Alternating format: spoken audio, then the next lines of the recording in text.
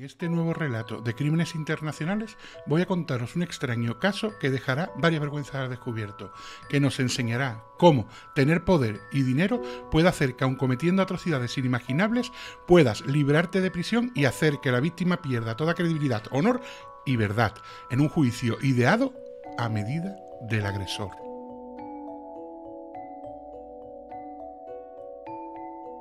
Este caso no es otro que el de Linda Loaiza y el monstruo de Palos Grandes.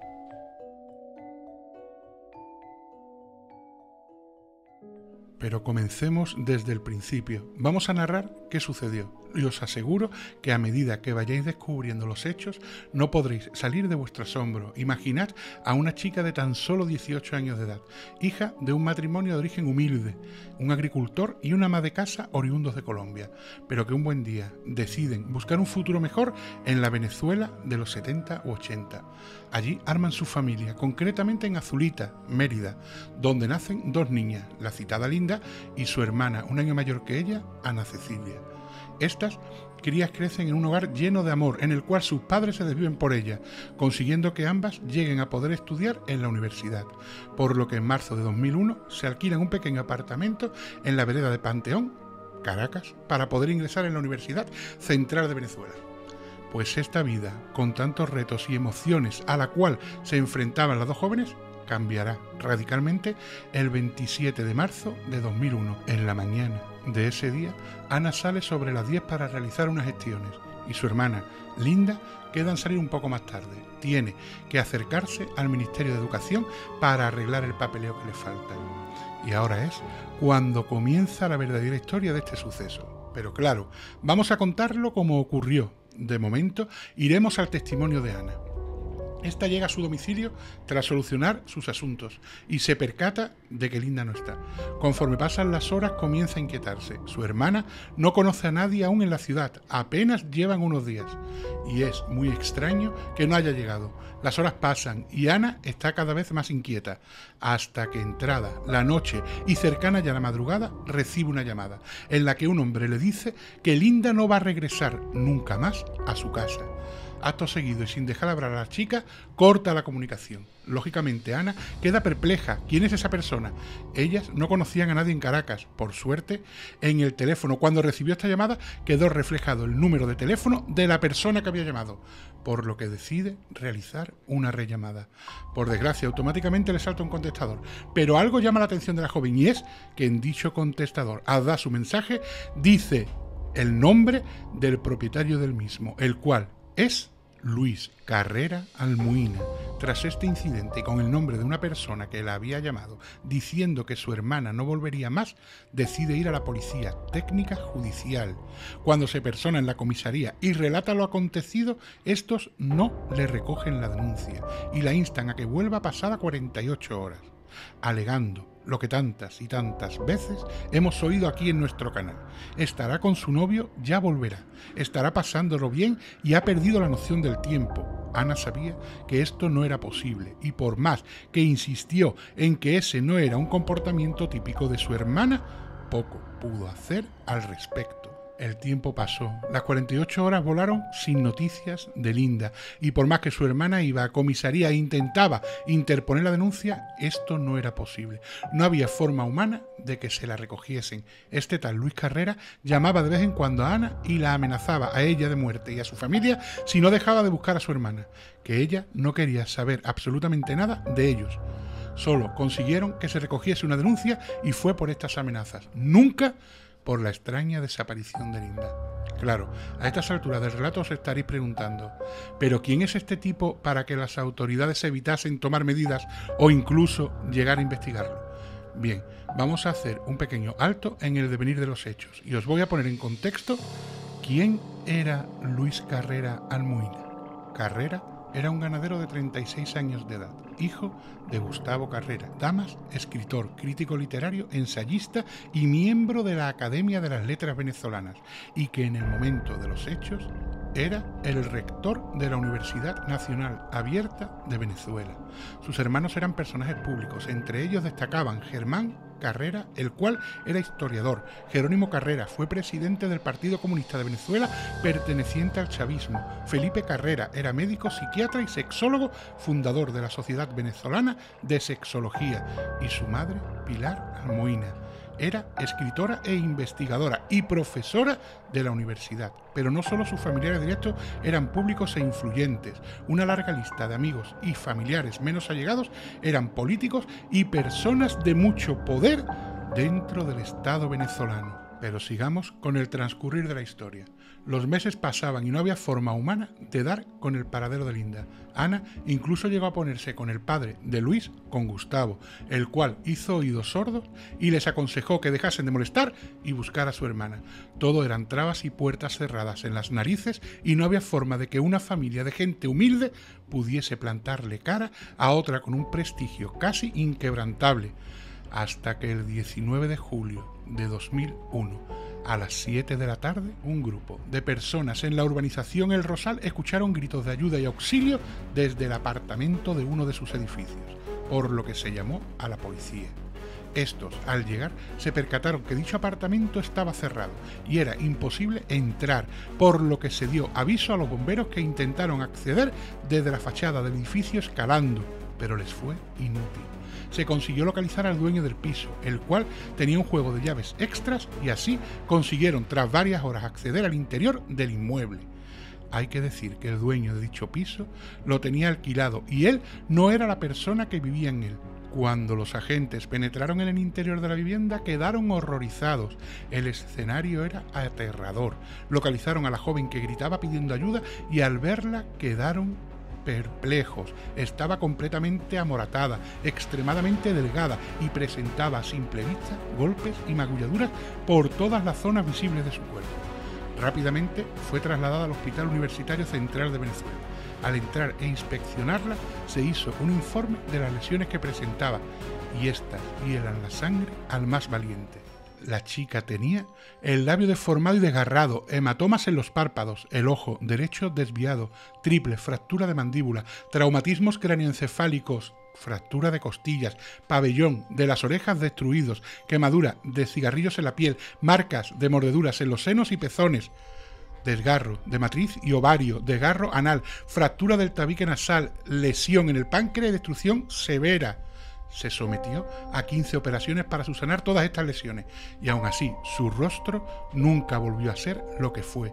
Pasó más de un año ingresada y tuvo que aprender a caminar de nuevo en el hospital debido al enorme trauma y terror que Linda procesaba hacia los hombres, decidieron cambiar todo el equipo médico que la atendía y hacer que solo se ocupasen de ella mujeres. Desde el primer momento, la joven siempre acusó a la misma persona, a Luis Carrera Almuina. Según su versión, aquella mañana ella sale de su apartamento para dirigirse al Ministerio de Educación, cuando es abordada en la calle por este individuo a punta de pistola. Es obligada a montarse en su coche una camioneta Cherokee. Dice que al entrar en ella la obligó a recostarse en el suelo de la misma y entonces arrancó el vehículo puso dirección al Hotel Aventura en San Bernardino. Cuando llegaron, este le dijo que al bajar actuase como si fuese su novia, o si no, la mataría. Entraron en el hotel con Luis agarrándola fuertemente del brazo. Una vez en recepción, el secuestrador pidió una habitación. Durante el tiempo que duró este proceso, la chica intentó una y otra vez hacer señales al recepcionista, pero este nunca se percató de ello. La habitación en la que se iban a hospedar aún no estaba terminada por lo que el chico del hotel le dijo que se tenían que aguardar unas horas. Entonces Luis decide volver a la camioneta y acercarse a casa de su padre, donde vivía, a recoger unas cosas. Monta a Linda y sigue amenazándola. Cuando llega a entrar en el domicilio y al cruzarse con el personal de servicio, Carrera presenta a Loaiza como a su novia. La chica estaba llorando y él puso como excusa que ella acababa de abandonar su casa y a su familia y que esto le hacía daño. Tras recoger todo lo que necesitaba y meterlo en una mochila, salieron de su casa y volvieron a la camioneta. Al montar, él seguía amenazándola y con el arma metida en su chaqueta. Llegaron al hotel y ya así pudieron subir al hotel. Cuando llegaron, comenzó su horror. Carrera comenzó a golpearla y abusó de ella sexualmente en varias ocasiones, y en un momento dado recibe la llamada de su padre, el cual le indica que tienen que acudir a un bautizo de un escritor importante, amigo de la familia. Tras colgar, amenaza a Linda y le dice que tiene que acompañarle y comportarse como su novia, que si no lo hacía, la mataba. Todas estas amenazas eran realizadas mientras la golpeaba, así que la chica se arregló y lo acompañó. Fueron recogidos por su padre y éste la presentó como su novia a él y a todos con el que se cruzó aquella noche. Ella alegó que el terror la tenía paralizada y que esto le impedía huir o escapar. No fueron las únicas salidas públicas que realizaron. Hizo algunas más a restaurantes y zonas frecuentadas por amigos de la familia. Los días en el hotel eran terroríficos. Él la amarraba, violaba y golpeaba. Tal era el ruido que hacían que los encargados de dicho hotel le llamaron la atención en varias ocasiones, aunque Luis hizo caso omiso. El 3 de abril la traslada a una casa al oeste del país, a la orilla del mar. Allí la retuvo por casi un mes. Pasado este tiempo, regresan a Caracas, al Hotel Aventura de nuevo, donde se alojan poco menos de una semana hasta que Gustavo, su padre, les alquila el apartamento de la urbanización El Rosal. Allí los maltratos siguieron, eran incesantes. Linda cada día estaba peor. Tal era su estado físico que ya su agresor ni la amarraba cuando saliera dejaba sola, ya que estimaba que así ni siquiera podría escapar. Pero todo cambió aquel 19 de julio, horas antes de ser hallada. La chica escuchó una conversación telefónica entre Luis y su padre, en la cual él decía que Linda ya no le servía, que se tenía que deshacer de ella, por lo quería recoger unas bolsas negras y cuando salió del domicilio, Loaiza sabía que o hacía algo o aquel sería su último día de vida. Así que sacó fuerzas de donde no tenía y consiguió llegar al balcón desde donde pidió ayuda. Pero si pensábamos que lo peor había pasado, aún le quedaba un infierno por recorrer a esta joven en busca de justicia. Durante los primeros meses, Linda fue sometida a multitud de interrogatorios por parte de la fiscalía. En esto, la chica era tratada más como culpable que como víctima, e incluso se la hizo firmar algunos documentos sin saber qué firmaba. Por otro lado, Luis fue detenido, pero su defensa y su testimonio fue el siguiente. Según él, Linda y su hermana Ana ofrecían servicios de dama de compañía en un entramado orquestado por toda su familia. Se conocen mediante un anuncio en el cual ellas ofrecían sus servicios y comienza una relación de amor entre ambos. En un momento dado, la chica decide irse a vivir con él, ya que éste se ofrece a ayudarla a ella y a su familia. Durante el tiempo del secuestro, Luis hizo algunos ingresos a nombre de los padres de la joven, los cuales usó como prueba de su testimonio. También mostró fotografías que se realizó con la chica y notas escritas de amor del puño y letra de Linda. Notas a las que la chica dijo que fue obligada a realizarlas y él que ella las hizo por mutuo propio. Además, alegó que multitud de personas lo vieron en público y que a todos ellos se la presentó como su novia, que comieron en restaurante, que fueron eventos familiares y que fue vista por muchas personas el hecho de los golpes y lesiones. Él alegó que eran problemas de parejas puntuales, pero que los más graves no fueron realizados por él, que ella seguía ejerciendo la prostitución y en algunos clientes la golpeaban y la dejaban en ese estado. El juicio debía comenzar para febrero de 2002, pero no dejaba de prorrogarse en el tiempo y alargarse. Dos años después, y viendo Linda que no se conseguía llevar ante la justicia a su agresor, comenzó una huelga de hambre ante el Tribunal Supremo de Justicia. Esto duró 13 días hasta que finalmente dicho juicio comenzó en octubre de 2004. La jueza que finalmente se hizo cargo del mismo fue Rosa Cádiz. Hay que decir que dicho caso pasó por las manos de 58 jueces, los cuales fueron apartándose del mismo de los pocos que daban motivos alegaban que lo hacían por presiones y amenazas, que no les dejaban ejercer con neutralidad su trabajo.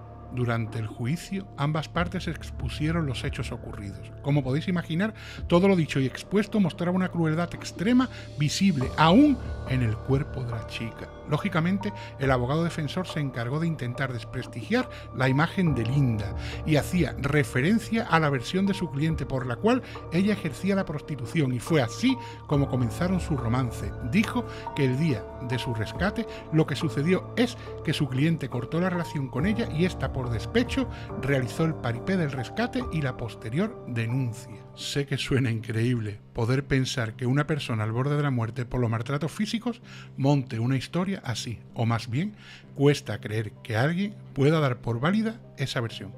Pues sigan escuchando porque se sorprenderán. El juicio termina el 24 de octubre de 2010 y la jueza da su veredicto. En este indica que no se puede determinar que Linda fuese agredida o abusada sexualmente en el apartamento donde la localizaron. Hizo hincapié en que no se pudo comprobar porque no se recogieron muestras ni fluidos que pudiesen cotejarse. Hizo referencia a que existían contradicciones en la declaración de Loaiza, ya que en una que los agentes judiciales entregaron no coincidía con la que ella daba. Esta es la que el personal obligó a firmar a Linda durante su estancia en el hospital.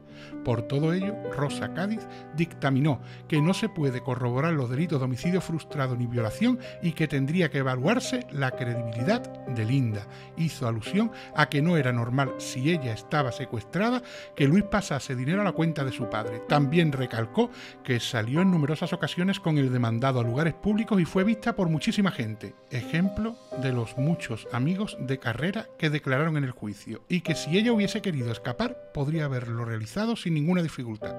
Por lo tanto, se sentenció que todo era un invento de Linda, la cual se encontraba tremendamente enamorada de Luis y, por despecho, había realizado esta pantomima, así que el acusado quedó librado y absuelto. Linda recurrió la sentencia y se realizó un nuevo juicio. Este tendría que haber empezado el día 9 de noviembre de 2005, pero como ya sabemos, las artimañas hicieron que se retrasase y finalmente concluyó el 9 de abril de 2006. En este, a Luis se le declaró culpable de dos delitos, retención ilegal y agresiones graves, pero quedó absuelto del delito de violación. ¿Pero pensáis que cumplió su condena? El monstruo de palos grandes, sobrenombre que se le puso, solo estuvo en la prisión del rodeo hasta mayo de 2007, cuando salió en libertad.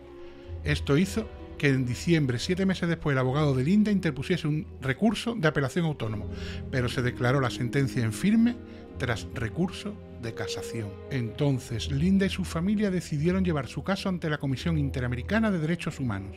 Aunque el camino no fue fácil y aun habiendo presentado el caso en 2007, no consiguieron que se les escuchase hasta 2015. Entonces, denunciaron la incapacidad del Estado venezolano de hacer justicia en su caso. Además, también incluyeron en dicha denuncia los continuos atropellos y violaciones que sufrió durante el proceso. Linda dijo, considero que en el Estado venezolano aún hay impunidad en mi caso con relación al delito de violencia sexual. He acudido aquí porque en este lugar no imperan privilegios sociales ni económicos.